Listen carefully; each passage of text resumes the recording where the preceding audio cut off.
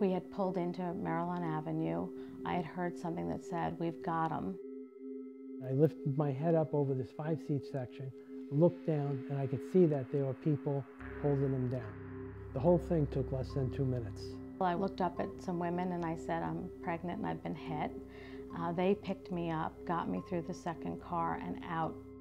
I could feel somebody behind in the back of the car with us, you know, walking around, and I was trying to kick him to tell him that I'm underneath the seat, find me.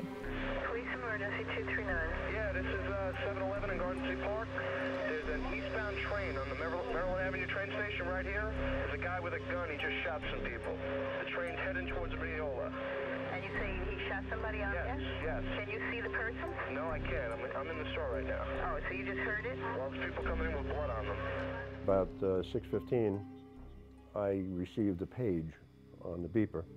Upon arriving there, we are told basically what happened. The person that did the shooting is already in custody. They're not sure at this point how many are deceased. And we walk to the train, and it's literally the most carnage I've ever seen.